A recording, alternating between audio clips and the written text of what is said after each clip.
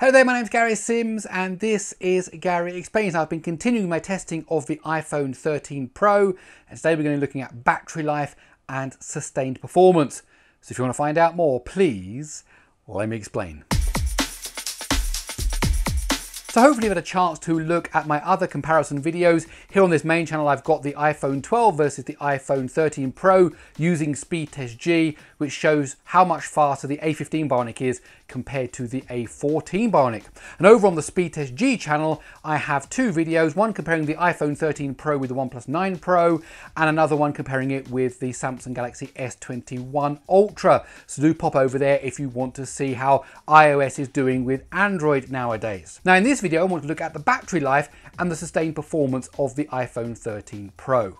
So let's start with the battery life. I've done two major battery tests here. The first one is I took a YouTube video uh, 2K and I played it until the battery went flat to see how many hours of video playback you can get on the iPhone 13 Pro. And if you look here at this graph, you can see that the battery usage is fairly even. It's a fairly straight line going down from 100% to it almost ran out at about 3% I think it was. And as you can see there, you get over 11 hours of YouTube video playback in a high resolution. And this is with the brightness at about 50%. So that is a good good result.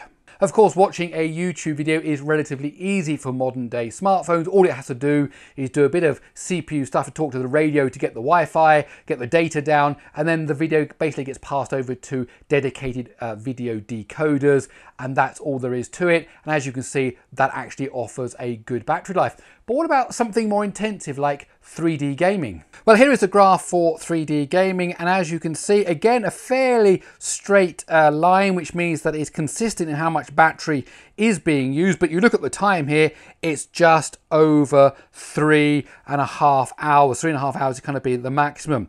So it's a very, very different story from intense 3D gaming to watching YouTube videos. Now that means that your usage in an average day is going to be somewhere between the two, somewhere between three and a half hours and 10, 11 hours, just depending on what you're doing. But it does really just highlight the fact that it is dependent on the workload you are running.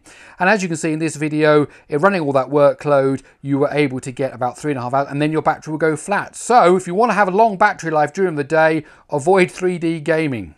Now, actually, that statement, avoid 3D gaming, is probably true for just about every smartphone, whether it's iOS or whether it's Android. It is one of the biggest things that drains the battery. In fact, when I want to drain the battery on a phone, that's exactly what I do. I run a 3D demo, and that drains the battery the quickest, because obviously, three and a half hours compared to 11 hours, I wouldn't do it so quick if I was using a YouTube video. Okay, so that's the battery life for you. Now, what about sustained performance? Well, for the sustained performance test, what I did was I ran, again, that 3D gaming, and each 20 minutes or so, I ran Speedtest G to see whether the performance had changed, and I also took the temperature on the back of the device. So as you can see, it's the same time frame, that three and a half hours. And when you initially run Speedtest G on a cold device, that's 23 degrees C there you'll see, then it's just under 55 seconds. Then after it's been running for 20 minutes, the temperature has shot up to around 39 degrees and the device has slowed now with Speedtest G to 59 seconds. However, from here, things are really pretty stable. All the way along here is 57 seconds, 57 seconds, 57 seconds. There's another 59 that appears in there, but basically the performance remained stable. Not as fast as it is when it's actually very, very cold, but it does warm up to for over 40 degrees, we can see here, and we can certainly say that the performance remains stable all that time.